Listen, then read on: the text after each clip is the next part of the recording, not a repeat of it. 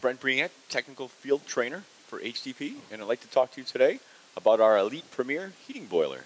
Uh, this is a residential slash commercial boiler that's available in 7 BTU input sizes and is either the wall hung or a floor model.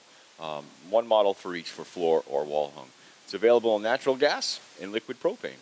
So that being said, I'd like to take you inside and, and show you what the EP is made of. Okay, the, the EP, the Elite Premier, features an easy to use uh, control interface.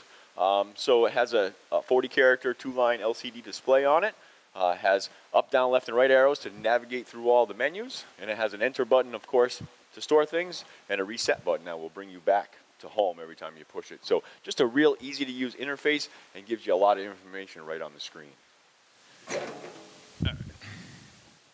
Okay, I'd like to take a look at some of the feature and benefits of the Elite Premier. You know, as I mentioned earlier, it's either wall hung or floor mount. There are seven BTU input sizes available from 80,000 BTUs up to 399,000 BTUs.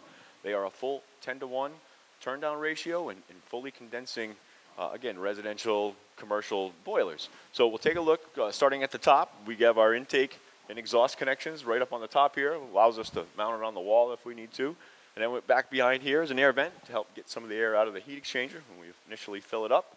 And off to the left are our supply and return fittings. We provide this multi-fitting that has your temperature gauge, a low water cutoff uh, option, and your relief valve built right into the fitting. So we provide that with it, and we provide the relief valve. The relief valve comes with the boiler as well.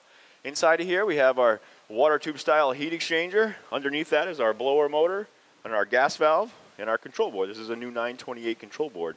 So when we get into the control, this boiler has some extra outputs as well as inputs that we can utilize for our benefit. So with that being said, we'll take a look at the control. The in, this is our wiring control board. So we have our low voltage wiring that's on a clip that pulls out of here. So with this one, we can wire an outdoor sensor to it, a thermostat input or an end switch. We can wire DHW sensor slash aquastat into this.